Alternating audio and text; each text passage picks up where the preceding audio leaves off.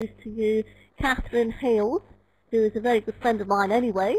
Um, Katherine is an NHS midwife in the north of um, England in a place called Hexham. Um, she also practices as an independent midwife, but she's speaking to us today as the national coordinator of the Association of Radical Midwives. So over to you, Katherine. Thank you, Linda. Um, I'm going to talk today about the new vision which the Association of Radical Midwives has just published in 2013. Um, the Association of Radical Midwives uh, was an organisation formed in 1976 which was started by student midwives who were alarmed by the increasing medicalisation of childbirth. Um, they used the um, acronym ARM um, because they felt that their practice was very much dominated by the requirement to artificially rupture membranes, abbreviated as ARM, um, in order to induce labour. At the time, in the 1970s, it may have been similar in other countries too, there was a very, um, you know, a very great preponderance of induced labours, sometimes not very long after the due date, uh, and people felt that um, that it was really um, due to hospitals wanting more women to give birth to their babies during office hours and weekdays.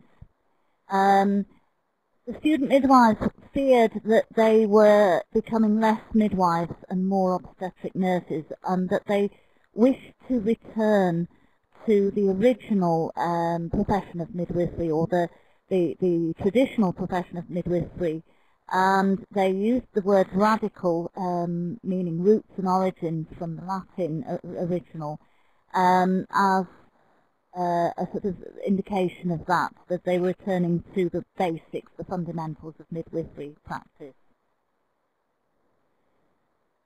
Um, the Association of Radical Midwives um, is an organisation which anyone can join. It, there are a lot of midwives who are members, but also women who have interest in childbirth and anybody else who's interested. Um, we aim to improve care to become more women-centred. We hold study days and conferences. Um, we've had for the past few years a national conference um, which has been very successful each year. Um, and we have um, a national meeting quarterly um, and we try to have these in uh, different parts of the UK so that all members may have an opportunity to attend.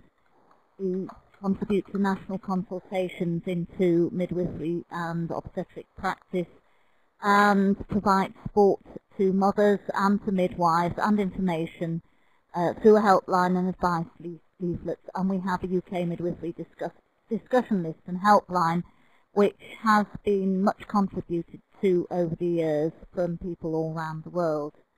Um, we're members of the International Confederation of Midwives and the European Midwives Association. Um, we produce a quarterly magazine called Midwifery Matters and one of our quarterly meetings um, extends into a gathering or a holiday or retreat um, for as many of us as who are able to go. And we try to hold those in different parts of the countries as well so that more people may attend. We, uh, in the last few years, we, uh, we bought a yurt, uh, a Mongolian-style uh, framed tent that we take to um, festivals to provide space for pregnant women and their families. Um, and we are involved in social media, as are most people. We are we we have charitable status, and um, most of us are volunteers, um, and our biggest income through subscriptions. Although we do sell um, a range of midwifery goods and um, occasionally we do make profits from conferences and national meetings and also the annual retreats that we run. In 1986, the um, the members of ARM decided that they wished to um, to uh, promote women-centered care by producing a document which they called the vision of how they would like maternity services to develop. Um, and this was very much based on the idea of caseload midwifery and of uh, continuity of care for women by, by their midwives throughout the whole of the childbirth period. It was later taken up by um, initiatives such as Changing Childbirth in 1993 and Maternity Matters in 2006 and has had a lot of support generally in government documents. Um, the, the difficulty has been that although uh, government policy and various policy documents that have come out have supported the, um, the philosophy of ARM and the vision, um, it has proved much, much more difficult to put, um, you know, to put those policies into practice. In 2013, um, many years later, um, care for women in childbirth remains dominated by acute hospital services. Um, the birth rate has gone up as well in recent years, which has, uh, sort of uh, made things more difficult in that respect. Um, many midwives work in places where um, there isn't uh, really, there aren't really sufficient staff to um, give women one-to-one -one care.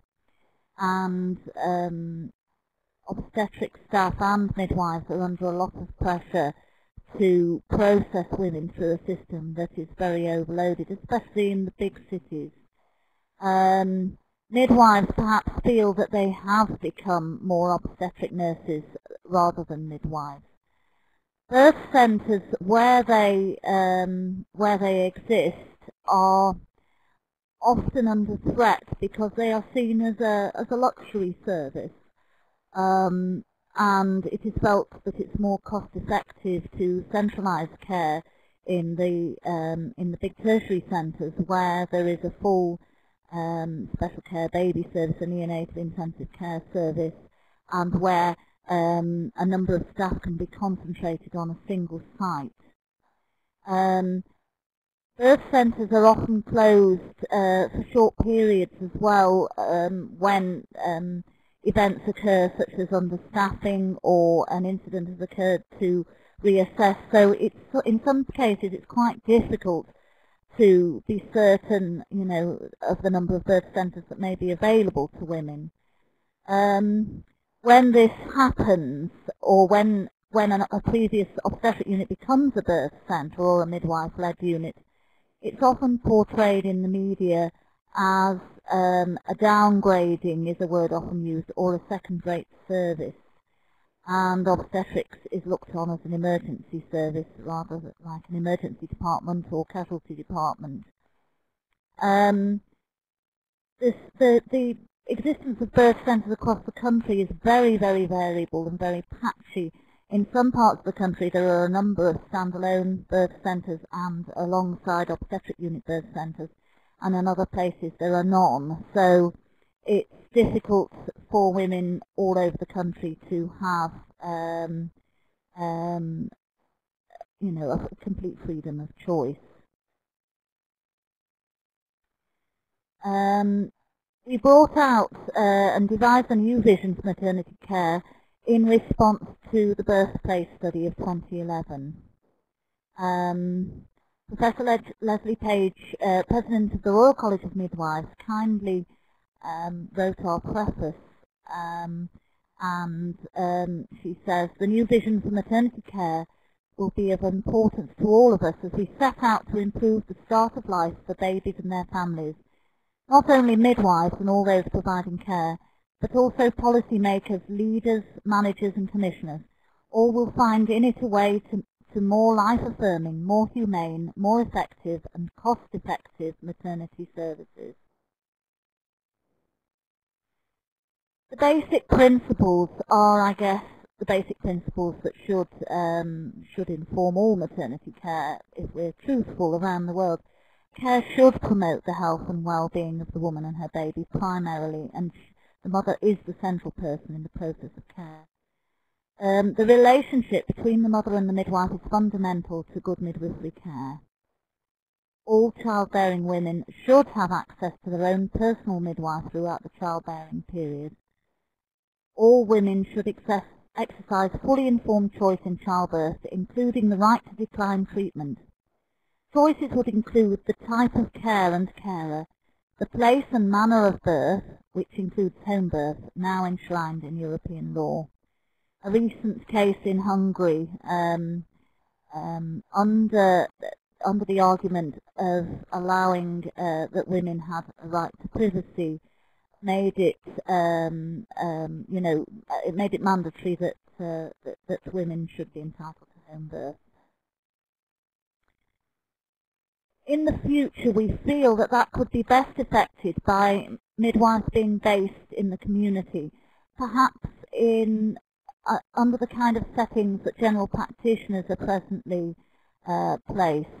Midwives do work in the community in this country at the moment, but um, they often work um, in conjunction um, to general practitioners' surgeries and are employed by acute hospital trusts, which means that the continuity of care is variable and they can often be um, pulled into the big obstetric hospitals to provide um, assistance when there are staff shortages or, or there is a huge number of people attending those centres.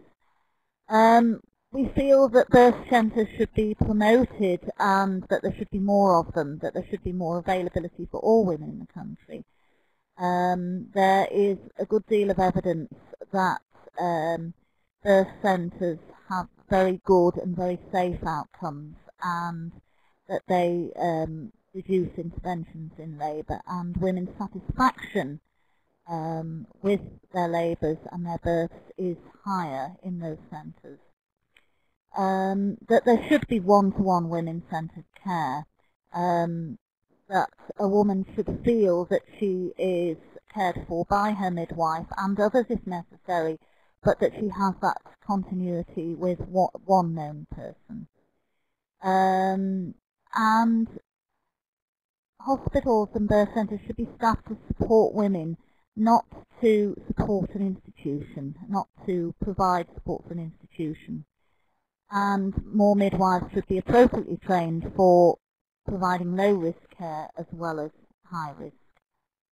Um, these are some of our uh, publications, the New Vision and the, and the Old Vision in one of the magazines. Um, that's just a short presentation about our new vision for maternity care. And um, I'd like to answer any questions, please. Thank you very much then, Katherine. Um, that's very interesting. Um, can we have some questions, please, in the chat room?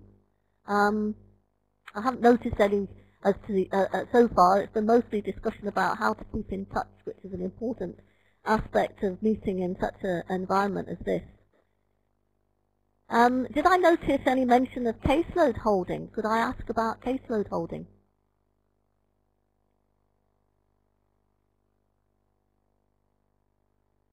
Katherine? Um, I, yes, sorry. Um, yes, um, in, in the vision, we feel that um, the ideal would be that midwives would carry a caseload of women each, um, not too large, to allow them to provide continuity of care, perhaps by a system in which they could work with a partner or a buddy or perhaps two or three midwives together, depending on how many hours they wish to work, um, up to full time. And in that way, um, they could share their on-call, they could um, cover each other for holidays, and um, women would have continuity of care. Um, we feel that if, if that caseload care was based in the community, um, and midwives would have um, the opportunity to discuss cases and to debrief among themselves. Um, it would give them control over their work and job satisfaction. Um, caseload projects in the past have sometimes um, been difficult to implement um, because the caseloads have been too large. The vision recommends that for um, full caseload midwifery, that a full-time midwife would have 28 cases a year.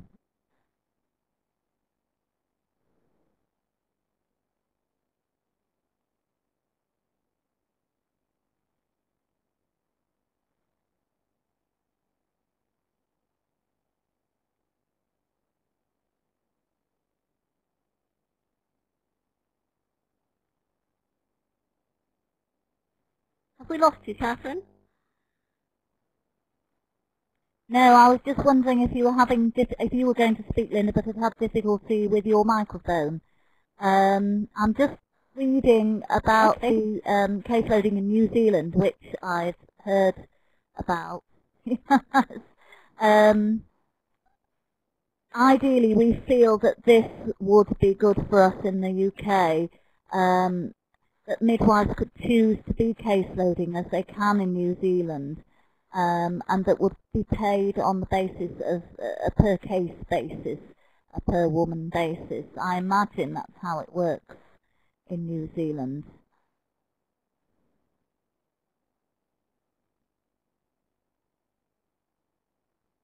I see somebody is saying yes, that indeed. Um, have a look and see if... uh, that mid. Yeah. Sorry, Linda. Go on, Karen. Katherine. No, Katherine, you, if you're reading the chat box, please just go ahead and answer the questions. Yes. I'm not sure about Germany. I, I see somebody's asking about Germany. I don't know if anybody can comment on that. I think from contacts with the International Confederation of Midwives, I think they do have a degree of independence, but I can't um, recall asking or hearing exactly how they how they did that. Um, yes, it, it, it is. It's very difficult for people not to get burnt out if if midwives are holding caseloads which are too too large. Um, and it would still be perfectly possible, as I'm sure it is in New Zealand, for um, for midwives who felt that it suited their circumstances better to continue to work as core hospital midwives they would still be needed to do that, I imagine. Um, I think there has to be an, an element of choice for the for the midwives when case loading because it can be it could be more difficult for some midwives at certain times of their lives with on call for birth when perhaps they have small children themselves. Um, the British new um, NHS bill um, works on a system uh, described as payments by payment by results, and this does have modular payments, as um, Cheryl Joy Christian from New Zealand says, for antenatal, postnatal uh, labour and birth, but there are certain difficulties with it. Um, it is felt by some midwives because if if women have a high risk of transferring to obstetric care, for instance, a woman having her first baby may have about a 45% risk of transfer to obstetric care, then um, there will be additional costs, a lot of additional costs for the individual midwife or the um, the group that she's working with when they transfer that woman. And it might be in those cases that um, a situation would arise where um, midwives have done an awful lot of work, antenatal and, and labour work with a woman, but because the woman transferred a large amount of the fee would then go to the obstetric hospital and possibly also to the ambulances who, who might have performed the transfer. I don't think that our system's been set up with this in mind because these sort of difficulties also arise when women transfer from um, one hospital trust to another. Um, I'm just reading questions here. I, I was told by a midwife who worked in New Zealand that it can sometimes be a little bit difficult because women, of course, are quite entitled to um, change their care provider in of pregnancy or maybe, you know, right up to the time of the birth. And this also can be a problem for some midwives um, as regards their fee. Again, they may have given quite a lot of care and yet um, lose the main part of the, of the fee. But I guess no system can be without its drawbacks.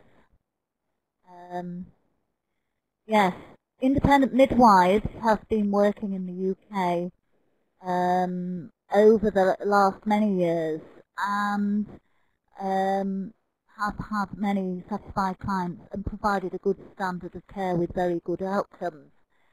Uh, we've been collecting um, statistics to that effect for these last nine or ten years. And um, we are at the moment um, under a certain amount of pressure because in October of this year it becomes mandatory to have um, indemnity insurance.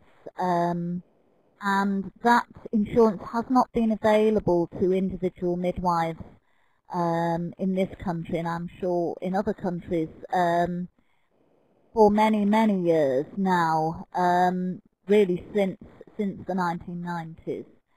Um, this is because of the um, the large risks involved in having a claim against a midwife. Claims themselves would be extremely rare, um, but if there was a claim um, that was that was found in favour of the claimant, the uh, the payout could be six million, and um, uh, it is said by um, insurance specialists that this could go up to 10 million pounds in the near future. So understandably, insurance companies feel that even um, a risk of one such claim happening to any one midwife would wipe out most um, uh, most um, insurance uh, payments that have been made. Um, the Independent Midwives UK and other people are at the moment, the Royal College of Midwives and many others are campaigning on this subject now. Um, it may be possible for groups of midwives to contract into the NHS through social enterprise schemes and so on, but it's not really um, clear at the moment how how this is going to proceed after 25th of October when this, this law becomes um, becomes um, live in. Um, just reading down the questions. Um,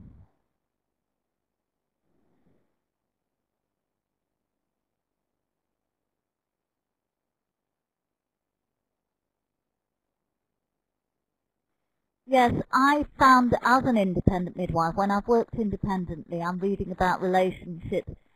It, it is it is a huge luxury and a privilege to be able to have a very um, a very developing and a close relationship with with an individual woman because um, I think it's I think it's rewarding for both. I hope, um, as Joe Lundman says, yes, if people if people feel that they're not having a rewarding relationship, then they, they ought to they ought to change to another midwife indeed, because we can't get on with everybody.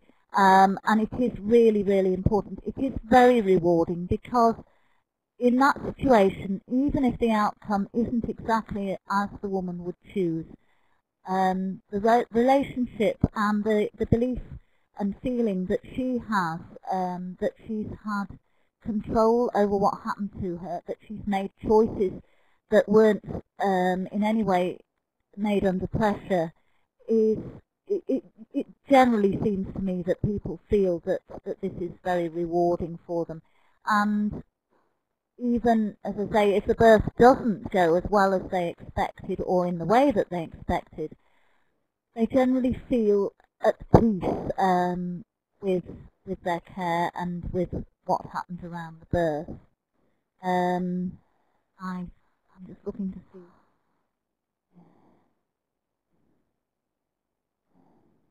It's very, it's very difficult to read down the questions and talk and think at the same time. I apologise for that. Um, You're allowed to have thinking time, don't worry.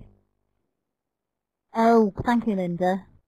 Can you see or draw out anything else from the, the chat that's going on, Linda, that um, that we ought to comment on? Well, There's, a, there's, a, there's been several questions about how the vision can be incorporated into um, the institutional support or political environment.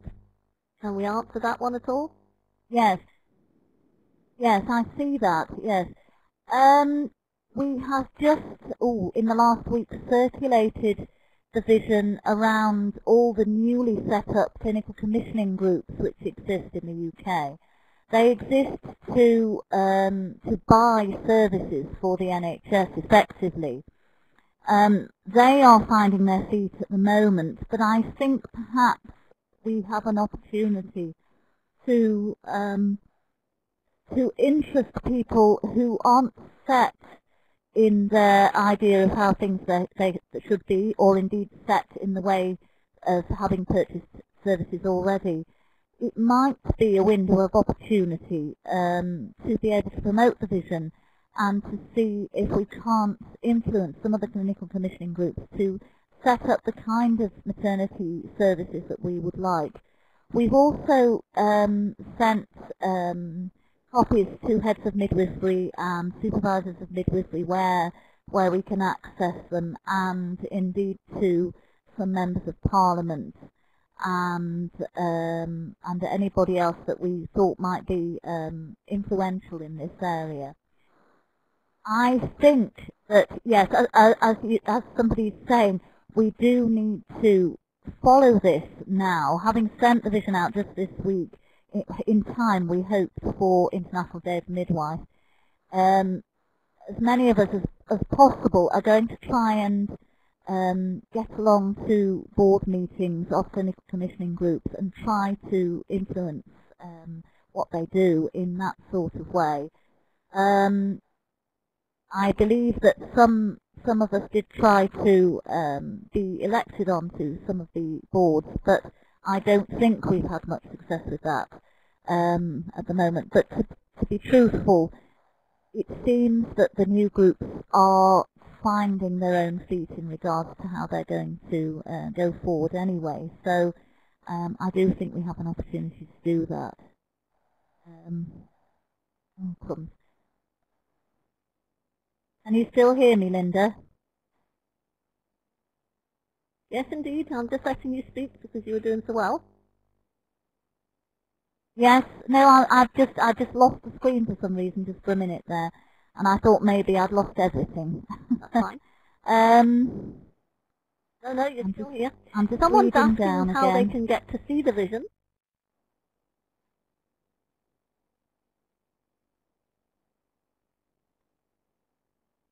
I've lost you again, Linda.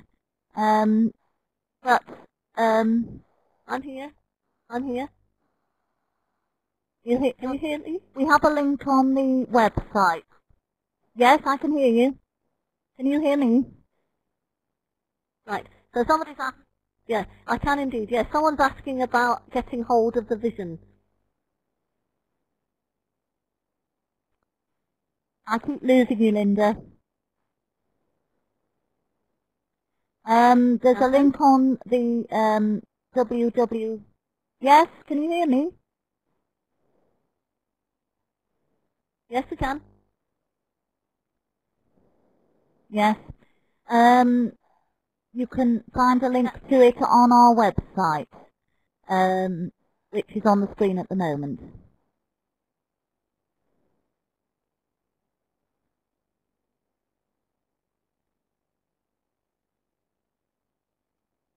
You still there, Linda? Okay, have we got any more questions? We've still got Yes, time Linda. for a few more questions. Yes, I'm still here. Um, just, just asking if anybody else has Yes, got any more it questions, maybe ones that we've missed, or any comments. Uh, Katherine, uh, Lorraine's pointed out an excellent question from Maureen Wahidi a little, uh, not very far ago, I think. Um, Yes, oh, I see that. Yes, I see that higher up there. Um, yes, I absolutely agree, uh, Maureen, that the, the relationship is key and very difficult to develop within the present UK system.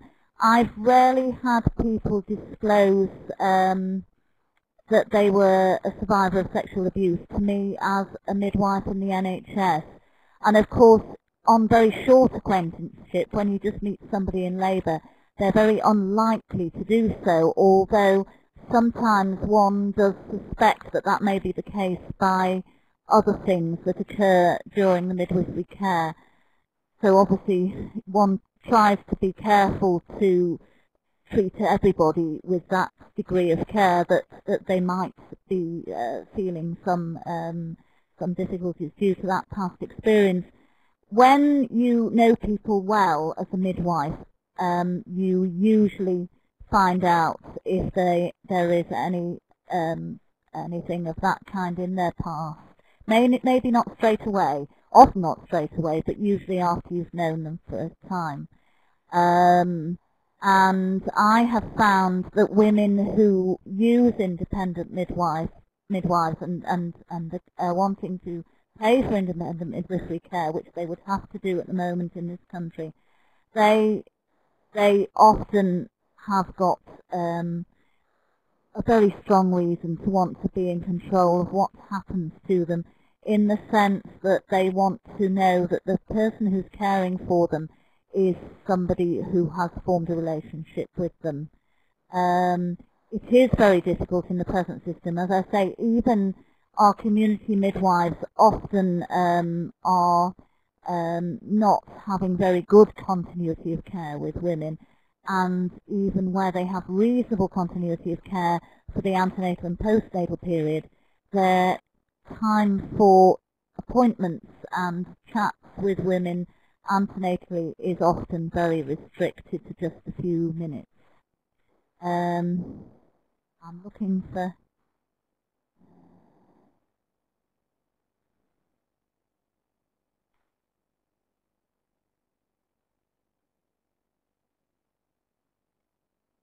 Um, yeah, I'm just I'm just trying to find the question in blue that somebody's mentioned.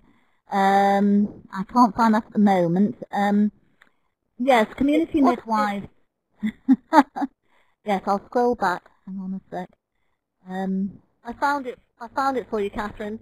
It Okay. says what might the I, what might the ideal increased midwifery training in low risk as well as high risk look like?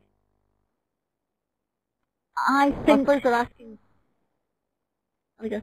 I think um, more time spent actually working with a midwife in perhaps an apprenticeship style of uh, care. One of my colleagues is um, very keen to promote um, an apprenticeship style of mentorship, one studentship, for want of a better word, um, where an individual student would work closely with um, a midwife who's caseloading for a reasonable length of time in her training. At the moment, our students here, Linda will confirm this, uh, perhaps only spend about 50% of their time in clinical care. It's, there's been some pressure in some countries for that to be even less. I do feel that midwifery is a very, very practical um, practical discipline. A high level of education is, of course, important, and ability to analyse um, um, different uh, different areas is important. But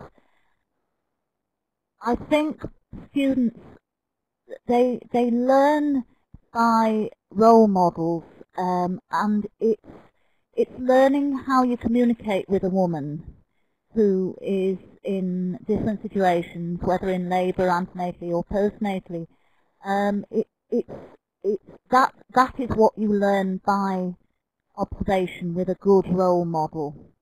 and it also helps students to build up their confidence in the normality of birth.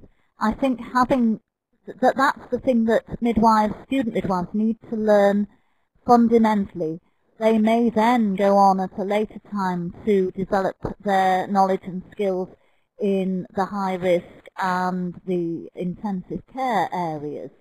Um, but the fundamental of midwifery is normal, normal midwifery and based in the community. And um, I can see somebody, Shelley, saying she spent the whole of her first year with the Sure Start caseload team. I think you were lucky, lucky Shelley. um, and I was quite, I didn't know this, um, but I was quite shocked when I had some mentorship training uh, recently to find that the practical component of the midwifery course was uh, relatively small, or smaller than I expected it to be. Um, yes. Yes, Linda's saying there's a lot of emphasis on high risk. Um, it is important, of course, for women who are high risk and having uh, medical and um, health problems in pregnancy to have equally good care. Um, but I think that a student midwife needs to learn the basics first and then add on the layers thereafter because that is, you know, the basic midwifery which will serve her well in all settings, really. Um,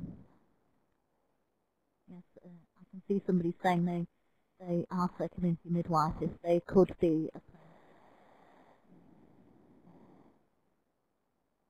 Yes. yes, and I see what Maureen says as regards women who have um, had problems with um, abuse in their past, sexual abuse in their past. Yes, I. It's a very moving thing to see the transformation that can occur in somebody who has felt um, such terrible trauma um, and how it can it can just help them move on and develop in their lives and transfer that confidence onto their children and become a positive process, as Maureen said. Um,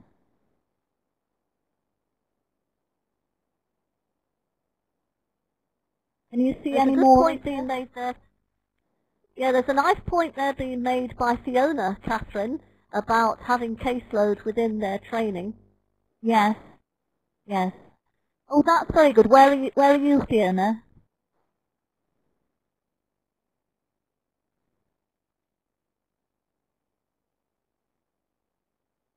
Yes, yes. Jude saying, yes, yes. But again, that, that, that, that in in Preston. Oh, that's yes, that's that's great. Yes, I'm not far from there. I know it well. Andrea's asking about non-independent midwifery care. Uh, what I would call the mainstream NHS care, or perhaps um, what has been the recent tradition in NHS midwifery, has been that women visit um, their community midwife, who is generally based at the GP's, the general practitioner's surgery, um, she would book for her care there and she would tell the midwife where she wished to have her baby in the local area. Although, as we said before, the the um, the the choice can be restricted depending on what part of the country you live. Ideally, she should ask women if they would like a home birth or if they wish to give birth in a birth centre or an obstetric unit. Um, most women will have most of their antenatal care from the community midwife, although usually there's more than one community midwife that they will see through their pregnancy. And then when they go into labour, they will go to the hospital or birth centre where they, they are to give birth and be cared for by a midwife that they don't know, usually. Um, and possibly a number of midwives, depending on how long their labour is and whether a shift change happens during their labour. And then they would have perhaps a very short postnatal stay in the hospital or the birth centre and then be discharged home to be visited again by hopefully the same community midwife, but sometimes a number of different community midwives, some of whom they may have met and others not. Um, the postnatal visiting in a lot of parts of the country is now extremely restricted. Um, I believe down in the southeast, in the London area, where where where there is a lot of pressure on services, women may get a visit on the first day home and perhaps the fifth day, um, and maybe that's it. In a lot of areas, uh, women are expected to attend a postnatal clinic for their checks, and some uh, breastfeeding support can be very limited um, as well. Sometimes in some areas healthcare assistants and maternity assistants are used to provide breastfeeding support, but again that's very patchy. Um, I think a lot of community midwives in the NHS are sorry that they aren't able to give um, longer to their their caseload and to their postnatal uh, women that they have to visit. Um, but that's been cut down often um, to a very large extent compared to um, um, There's lots of lovely discussion going there's lots of great discussion going on here, but I just have to warn you that we're almost at the end of our time. We've just got a few more minutes left.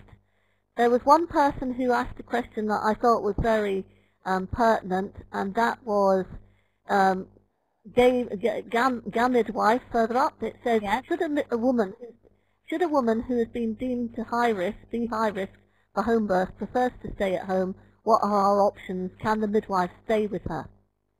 Um, yes, they can. Um, legally speaking, in the UK, if a woman chooses to have a home birth, um, whatever her situation, um, the service ought to be provided for her. In reality, um, there is often a great deal of pressure put on that woman to go into hospital, either because she is told that the community midwives may have too many other home births um, to attend at that time, or that um, that she is risking her life or the baby's life.